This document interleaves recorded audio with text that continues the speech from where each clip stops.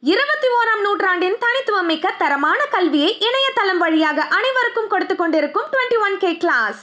நடிகையை ஏமாற்றியதாக தொடரப்பட்ட வழக்கில் அதிமுக முன்னாள் அமைச்சர் மணிகண்டனுக்கு ஜாமீன் வழங்கி இருக்கிறது சென்னை உயர்நீதிமன்றம். நடிகையை ஏமாற்றியதாக தொடரப்பட்ட வழக்கில் அதிமுக முன்னாள் அமைச்சர் மணிகண்டனுக்கு ஜாமீன் வழங்கியிருக்கிறது சென்னை உயர்நீதிமன்றம். அடுத்தடுத்து அவரது ஜாமீன் நிராகரிக்கப்பட்ட நிலையில் தற்பொழுது அவருக்கு ஜாமீன் வழங்கப்பட்டிருக்கிறது. அண்மை செய்தியை பார்த்துக் கொண்டிருக்கிறோம்.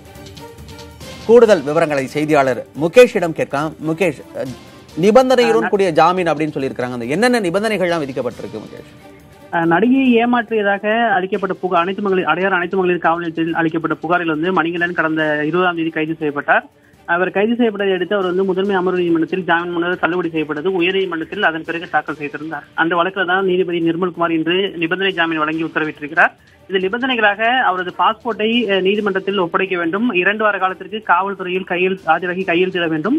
அந்த இரண்டு வாரத்துக்கு பிறகு விசாரணை எப்பொழுதெல்லாம் தேவைப்படுகிறதோ அப்பொழுதெல்லாம் காவல்துறை முன்பு ஆஜராக வேண்டும் என்ற நிபந்தனைகள் வழக்கமான நிபந்தனைகளுடன் இந்த நிபந்தனைகளும் விதிக்கப்பட்டிருக்கிறது. இதன் அடிப்படையில் வந்து நிபந்தனை ஜாமீன் வழங்கப்பட்டிருக்கிறது. இதுக்கு முன்னதாக வந்து முதன்மை அமர்வு நீதிமன்றம் தள்ளுபடி செய்த பொழுது காவல்துறை விசாரணை முடிக்கவில்லை. ஆதாரங்கள் சேகரிக்க வேண்டியது என்று தெரிவிக்கப்பட்டிருந்தது. தங்கள் காவலில் எடுத்து விசாரிப்பதற்கும் கோரிக்கை வைக்கப்பட்டிருந்தது.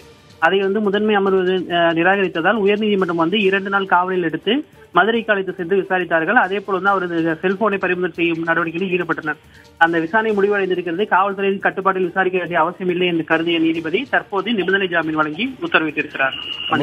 இந்த விவகாரம் முதல் நாள் வெளிவந்த உடனேயே புதிய தலைமுறையில தொலைபேசி வாயிலா பேட்டி கொடுக்கும்போது சொல்லியிருந்தாரு. அவங்க யாருன்னே எனக்கு தெரியாதுன்னு சொல்லியிருந்தாரு. இப்போ வரைக்கும் அவருக்கு எதிராக என்னென்ன ஆதாரங்கள் எல்லாம் சிக்கி இருக்கு முகேஷ் மணிகண்டனை பொறுத்தவரை முதலில் வந்து அந்த நடிகை யார் என்று தெரியாது என்று முதலில் வாக்குமூலமாக கொடுத்தார். அதன் பிறகு வந்து அவரை வந்து ஒரு ஐந்து லட்சம் ரூபாய் கடன் கேட்டு வந்தார். அதற்காக சந்தித்ததாக பின்னர் வந்து விசாரணை நடைபெற்றபோது தெரிவித்திருந்தார்.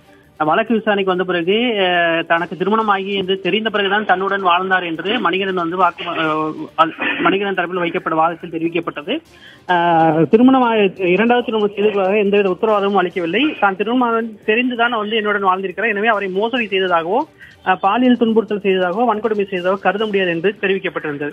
எனவே மணிகண்டனின் தொடக்க தொடக்கத்தில் அஹ், அளிக்கப்பட்ட வாக்குமூலமுடன் தற்போது ஜாமீன் மனு மீதான விசாரணை வரை ஒவ்வொரு கட்டமாக அவர் நிலைப்பாட்டை மாற்றிக் கொண்டிருக்கிறார். இந்த ரீதியில் தான் வந்து காவல்துறை விசாரணை நடத்தி வருகிறது. தற்போது உயர்நீதிமன்றம் நிபந்தனை ஜாமீன் வழங்கியுள்ளதால் விசாரணைக்கு தேவைப்படுபவர் மட்டும் ஆஜராகி அவரது நிலைப்பாட்டை தெரிவிப்பதற்கு வாய்ப்பு இருக்கிறது மணிமாறன். ஆரம்பத்தில் யாருன்னு தெரியலன்னு சொன்னா கூட அதுக்கப்புறம் வாழ்ந்தது உண்மைதான் அப்படிங்கிற அளவுக்கு வரைக்கும் வந்திருக்கிறாருன்னு சொல்லியிருக்கீங்க. விவரங்களை கொடுத்தமைக்கு நன்றி முகேஷ்.